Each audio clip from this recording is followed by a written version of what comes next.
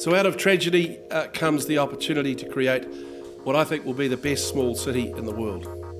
And there are extraordinary opportunities for anyone who wants to be part of it. Following the February 2011 quakes, I think it was clear that a timely, focused, expedited recovery process was required.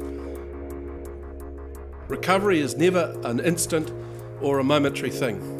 Recovery is something that we will be engaged in over a long period of time, and things we do under the recovery will affect this province for decades to come.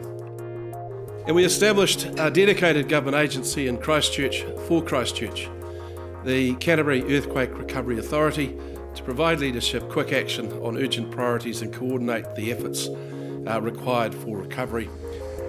Key task for CERA has been to restore confidence in our physical environment. It's been a big task, but we're now rezoned uh, or have rezoned almost 190,000 households or properties throughout the city and wider Christchurch and in the CBD. The zoning has restored, I think, uh, confidence that we can rebuild Christchurch and restore our homes and our neighbourhoods with the comfort of knowing that should this event occur again, with a similar quake in the future, it would not cause the same level of devastation how and where we work has also been changed. In the CBD and suburbs, 1,600 buildings needed to be partially or completely demolished. An ambitious deadline was set to reduce the CBD red cordon. Uh, in February 2011, the cordon was around the four avenues and enclosed 387 hectares. Today, this area is reduced to 49 hectares. The challenge that I think we need to accept uh, from today is that in five years' time, the event that defines the lives of a generation of Cantabrians is no longer the earthquakes, but what we've been able to achieve in the recreation of the magnificent new Christchurch. We have to make it exceptional. We have to, both public and private sectors, focus on creating only the best facilities. We have a fabulous new airport, a restored port, and uh, we are building superior roads connecting us better than ever before with the rest of the South Island and the world. There is now a unity around the future of Christchurch that I doubt any other city anywhere in New Zealand has ever had. The policy has to be that everything we decide to do in Christchurch is going to be the best.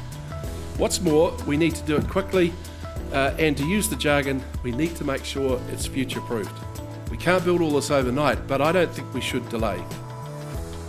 Our goal should be that within a decade, Christchurch is clearly recognised as the best small city in the world in which to bring up kids, open a business, go to the art gallery, study at university, watch the All Blacks, make money, create jobs, build a home. But I do think we can be very, very proud of what we've achieved here in recovery over the past two years. I think to do anything else denies how big the problem was there's little doubt that the shared experience since that time has come to define our lives as Cantabrians. But I do think our challenge in the next five years is to move from that event being the defining moment for this generation of Cantabrians to the way in which we rebuild and recreate the city to being the defining moment for us in our lives as we're part of the recreation of a magnificent new Christchurch. We've proven we're among the best most resilient, strongest people in the world, and we can do things fast. The challenge now is to get out there, do it fast, and make it the best quality we possibly can. Thank you.